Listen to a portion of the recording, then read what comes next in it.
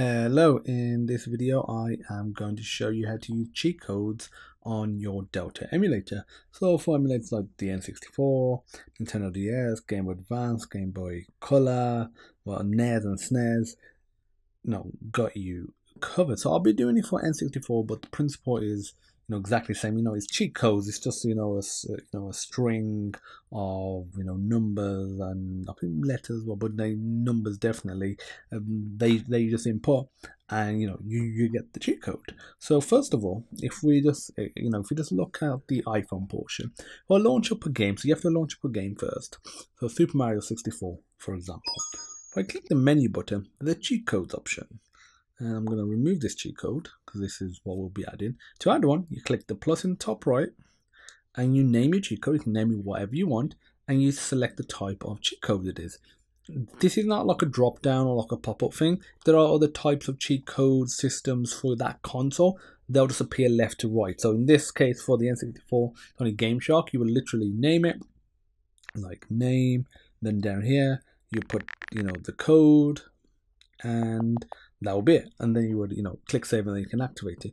But let me just show you that you know they all have they, they do all have cheat codes available or the systems. So this is game genie and game shark again the format will be slightly different. And that's it like mm, there's nothing more to it than that. So what i will actually do i'll provide different websites for all of the different game you know cheat systems depending on which one you want to use. You might have a preference. So in this case, it's Game Shark, but I'll provide websites for all of them. So if I go back to Super Mario N64, I go to menu. I'm going to actually load the state first.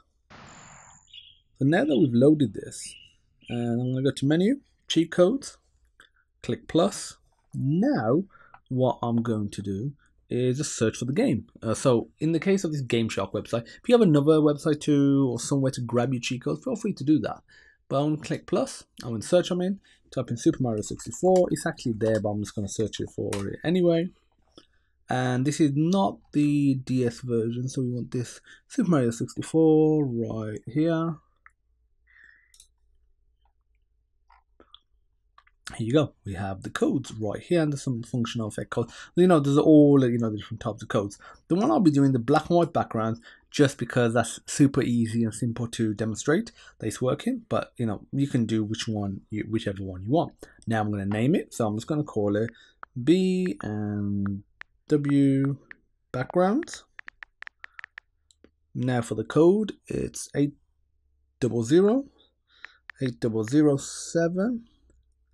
C531 and you don't need to put the space it will automatically put that in. It will automatically format it for you. I'm going to click save. And as you can see there's a tick next to it. If I click the BMW back you know this cheat it removes the tick. So you can actually enable and disable it whilst the game is running. So if I enable it here we go. Go back to resume.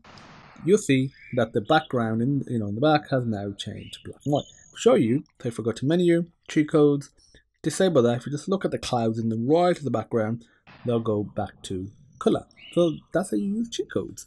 Like I said, I'll be doing it for all the different emulators, or more specifically, the different types of cheat systems out there. So like there's a Game Genie, there's Game Shark, there's a bunch of others as well. I'll show you how to use all of them for the cheat codes. I'm if you're wondering, oh, how do I actually set up hmm. Delta emulator to play all of these, you know, games. It's really easy, really simple to use on the App Store. There's a few nuances like with you know, certain ones with BIOS files and you know where to organize and put your ROMs. Don't worry, I've got you covered. I'm gonna have a video. There'll be a link in the description to a full comprehensive guide of how to actually do this. So feel free, feel free to check that out.